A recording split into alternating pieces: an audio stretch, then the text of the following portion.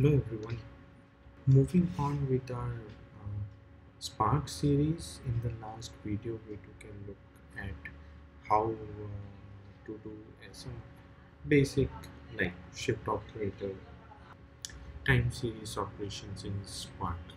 Uh, moving on along the same theme, we will in this video we will try to see how to apply um, transformations and mapping in uh, Spark in pandas i guess you would be pretty much familiar with how to do things in pandas.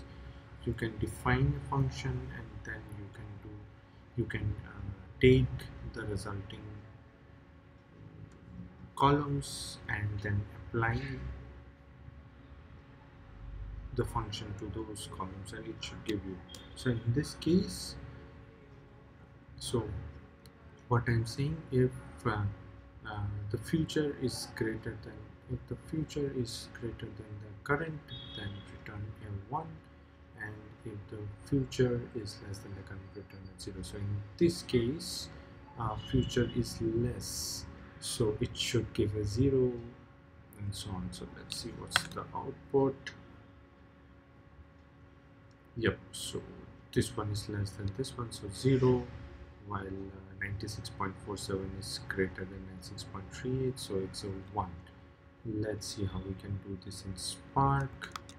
First what you should always try is if there are existing functions in the SQL library so that uh, you can apply those functions. Uh, if it is not there you can apply a UDF um, or a user defined functions so uh, existing implementation is of course uh, uh, preferred uh, apply UDF only when you don't have an existing implementation. So what we will do in this case we will use and uh, apply see how to apply a UDF and then we'll see how we can do the same thing using existing function as well which is the preferred approach. So in this one I will need to for implementing the UDF I need to Apache Apache Spark SQL functions UDF the advantage of you uh, trying not to implement a UDF is of course if you, you know, those are uh, easily applicable in uh, the JVM and the, the non-UDF functions are optimized so it will really give you great amount of benefits. So I can create let's see my logic. Let's give it target. UDF uh, in this case what is the thing is that close which is a float and uh, future.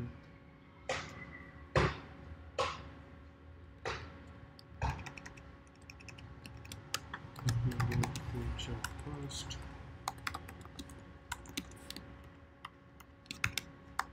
close which is a float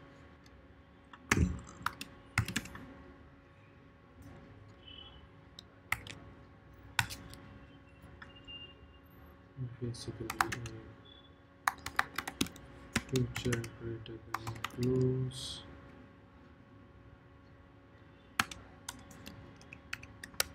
this is my condition. It's one. Uh, else zero okay makes sense.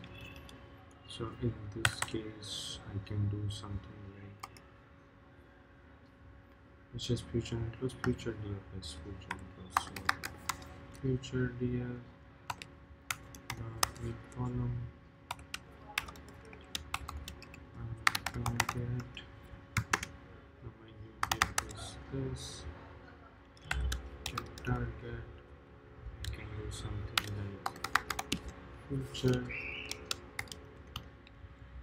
I can pass the future column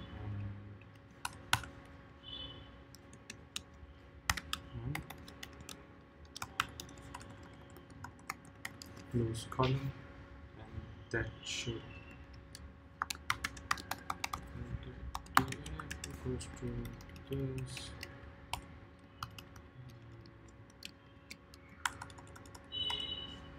Right this should do it. So target here. If you see here so target 0, 0, 0, 0, 1 in this case also 0, 0, 0, 0, 1 great makes sense? Now this was how you could apply a UDF in uh, uh, your Spark data frames. Now this is of course not the preferred way. If the other way is uh, achievable which means that using the inbuilt functions. So is there inbuilt function which I can apply. Uh, let's take a look. So what we want is that we want to compare two columns and return a one if one column is greater than the other and zero otherwise. So I can do something like project spark functions are I want the SQL function so this should give me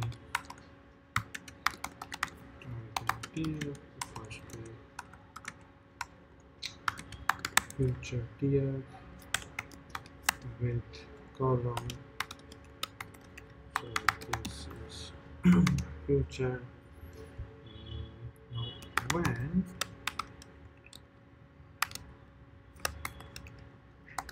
future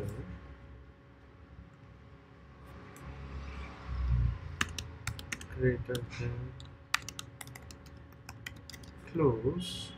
This is my condition. This is my output. Otherwise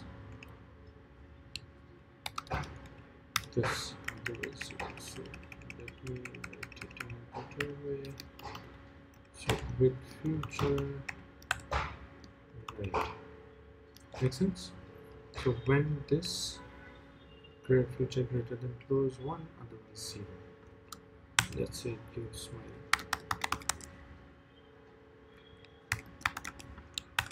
let's see. Okay let's do one thing.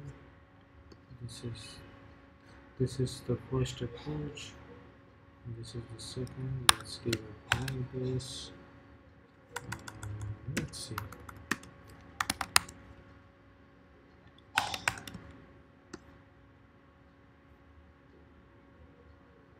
Okay I can't do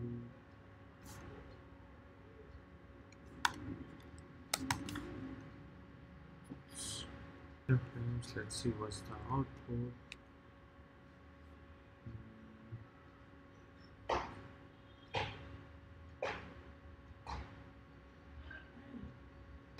can do something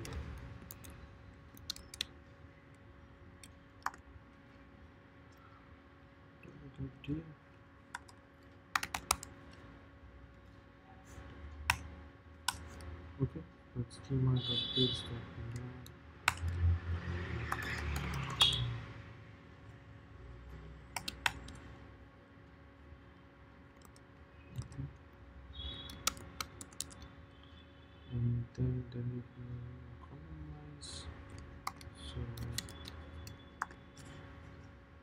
columns dot and here. Select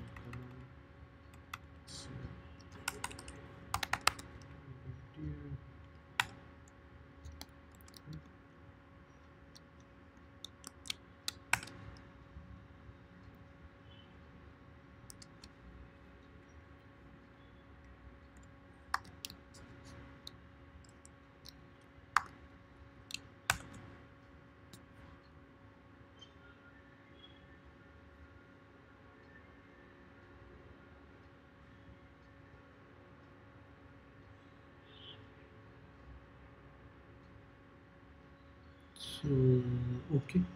So basically there is no difference between the columns of the two data frames which proves it in this case.